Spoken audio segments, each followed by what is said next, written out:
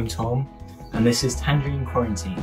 And today, I'm going to be showing you how to make a stick man like this out of a stick like this. Firstly, you're going to need a stick with as many twigs sprouting off it as possible. These act as the arms and legs, so if you can find ones with the branches sort of next to each other, that's pretty good.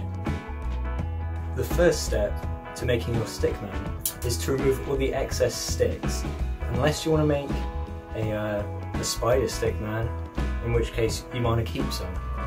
However, for this guy, I'm just going to go for a normal man. So, firstly, I'm going to take off all the unnecessary twigs. I'm just going to snap them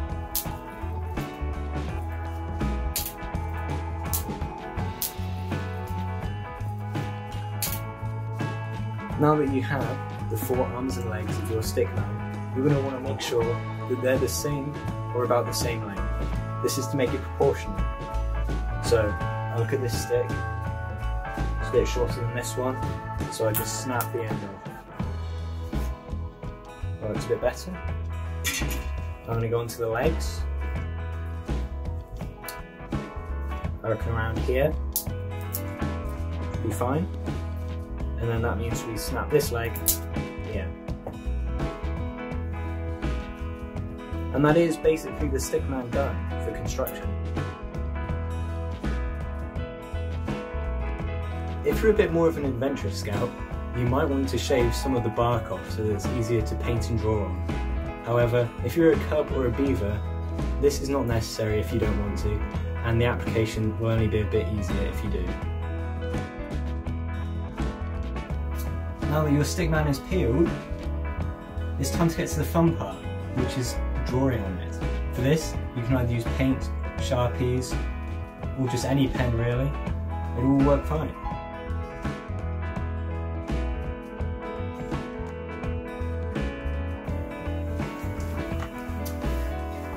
Okay, so here's my stick man. Just check over, see which side is smoother. That's probably the best one to do the face on move all of the. Now I could only find a silver and black Sharpie, so they're the ones I'm going to use. So I do have some more colours here. Okay, so I'm going to start with a face. Sometimes it can be a bit hard because it's a rounded surface, but really this is just to show off your artistic talent. I'm not very artistic, so there's not much I can do.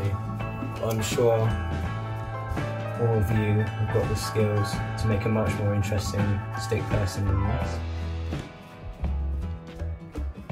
Just put some silver polka dots on him.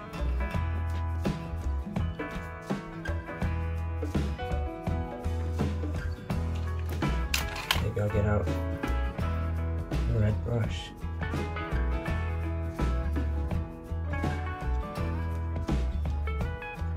If you, if you paint directly onto the bark, you will have to wait for the ink to dry